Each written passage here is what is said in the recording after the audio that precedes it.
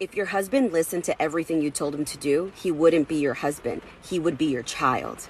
You see, there's a big difference between parenting and partnering. And marriage is supposed to be an opportunity for two people to come together with their own ideas, their own opinions, and challenges that you guys get to work through in deciding what is best for the both of you to continue growing and moving forward together. But your controlling spirit will trick you into believing that by you being in control and dictating what happens and when and how, that you will just feel better, that things will just be more efficient that way. But what I want to remind you of is that your controlling spirit is only an opportunity for you to lose yourself, build up a whole bunch of resentment, and eventually burn out. You understand?